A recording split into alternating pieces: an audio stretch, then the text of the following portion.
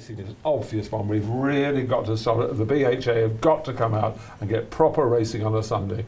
Um, the QIPCO 1000 Guineas is an example at Newmarket. We've got to get Sunday racing really built up. But I think, and you, you, you seem to agree with this, Kate, the value is going racing compared to, say, you go to the theatre, Oh. go to soccer, and those kind of places, you're stuck in one place.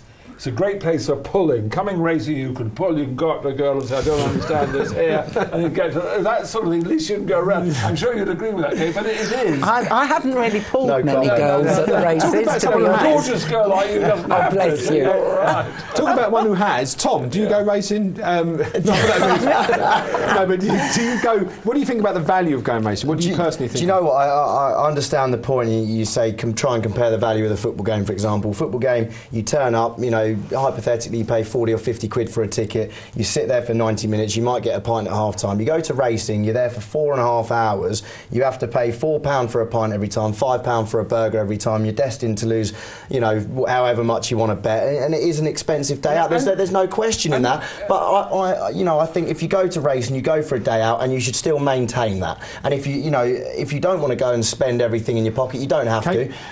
But Go on, Okay, go on, no, your- No, I sorry, I didn't want to interrupt. I just wanted to say, if you're a member of the ROA yeah, and you're above a certain age, you can go racing tomorrow at Kempton for two pounds two quid. because it will be free to get in. Well, it- it will- it certainly should It will And be free to get those, in. yes. You you use your travel card or whatever it is from Mm. um, for free travel.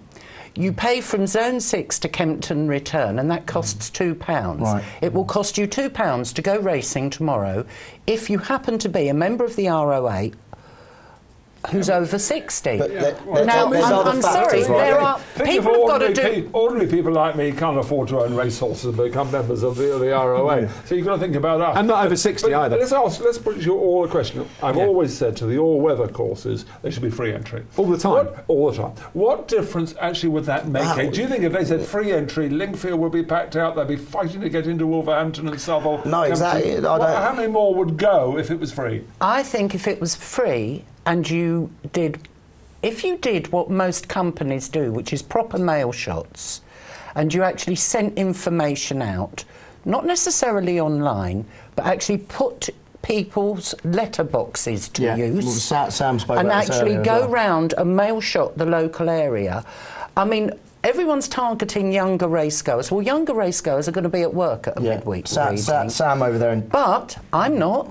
Mm. I'm retired. I won't be. I'll go racing in the middle of the week. Sa- Sam over You know- there, he said he's had three leaflets through his. I mean, he might tell him he's had three leaflets through his letterbox to try and join Lingfield Gym. He's had no leaflets through his letterbox to try and come racing at Racing. Lingfield. But there, there's more factors than just the value Oh, of the marketing, course, right? of Another course. factor that came up on Twitter, and I had a bit of a, a debate with uh, Rory Delargy from Timeform about it, and that's the downgrading of races. Now, Chester, I used to love the Chester early meet uh, in May early meet. Yeah. There used to be a bit of boggy ground, nice tight left-hand corner, a real good bit of racing. I thought suddenly Dee Stakes, which is a big, you know, recognised Derby trial, it's gone from Group Three to listed. Yeah, but it's not Uh, because it was uh, Chester yeah, no, is Will, packed no, out. Whenever they have a Chester meeting on a Sunday, the whole pa- let's say But, one but why? anomaly on Why do you have to do this when you've got Group Two, Group Three running every single weekend at Newbury, Newmarket, every single racecourse? So you know, Chester gets the opportunity to host one or two group races a year, and they downgrade it. Yeah, That- but- why? It doesn't make any difference to their attendance. Of all courses, attendance. He's saying class problem. racing, though. He's Yes, saying that the yes. class of race has been Yeah, but it won't affect the attendance. The attendance at Chester, and we're talking about attendances. Hmm. The great thing about the attendances debate is every time you have a meeting on, the clerks of the courses come up, with attendance is up. Well, They're if you, always if you don't think the class of it race, if you don't think the class of racing is going to affect people that want to go and watch it, you must be No, no, bonkers, Chester, quite frankly. Chester, you're not. Chester, you're not. That's the Chester. So they the take advantage of the fact Well, that people I'm- turn up whatever and just get rid of the No, class no, of the racing. They don't. The Well, they BHA do. are telling them. BHA are telling them. Well, there you go. the Yeah, they can't be on, can it? The, the, the next point I'd like to make is that of, and it's, it's just a little one of transport. I always find it quite tricky. If you want to go to the racing and have a beer, you've always got to get a train and walk about 25 minutes to a track where you don't know where you're going. Yeah, Kempton. Right, Fontwell have, Fontwell have recognised this problem, a local local track, and they now they're running shuttle buses for free from the station straight to Racecourse. Brilliant. Sandown More- do it for you. Sandown do have well. always done More it, courses yeah. need to do this. And the last point, and this is the most serious one. I went to Epsom, right, and the race nights in the summer 2009. I got to see Madness, Simply Red, and Spandau Ballet. Who are they? Right. No, this is more your lot now, John. I'm just coming to it. 2000. and- no, no, no. Hold on. 2013. You want to know why Epsom is is the gross. Uh, Biggest attendance faller through the year, 17% down. They've now got Mike and the Mechanics, the National Youth Jazz Orchestra, Tony Hadley, the rest of Spandau Ballet aren't turning up, and Bananarama. Who's going to go and watch that? Well, 50 years ago, Bananarama was something I seen for a Absolutely. Well, there we go. I thought you'd get It's- it's- excited. it's- I mean, it's a valid point. So what you're saying is Epsom, Epsom Racecourse. If you want your figures, of attendances to go up, get the better known bands in because people will uh, Yeah, but, up. but they demand so much money. You get to Tom Jones and that kind of thing. The money they, they yeah, but the crowds, the crowds fill out, and uh, we've got to leave And I'm here. Madonna would be quite pricey. Absolutely. um, that's now um, on, on a more lighter note. I wanted to, I was with Cheltenham around the corner. I mean, it's probably six weeks away. We did ask the question if anyone was to have a bet now on Cheltenham, what would it be? So I'm going to go around the panel. Kate, I'm going to ask you, what would it be for you? Apart from the obvious coming over from Ireland, I think I would actually have a bet on Red Sherlock. He was impressed on, on the I weekend. was, yeah. We I win against was. Ravinda. So Red Sh- Sherlock, Kate, Tom. I've got um, an anti-post double for Silviniaco Conti and the new one.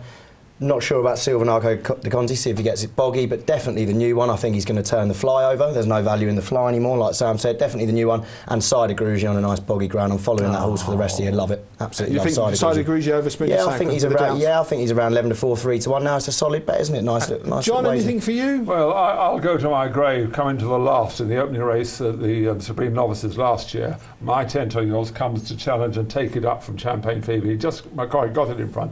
It was, the race was all over. My banker of the meeting, one bet at Cheltenham, that, and with the winnings, you then get the rest of the meeting. And of course, it all went wrong. So Champagne Fever now going chasing, you could argue, with, with My Tent Or Yours is uh, prominent, about a 9 to 2 chance for the champion hurdle. You could argue that my tent or yours is a champion hurdle contender wider than Champagne Fever there, but going going chasing, you understand. I'd love to go beat. I think he beat the new one on merit.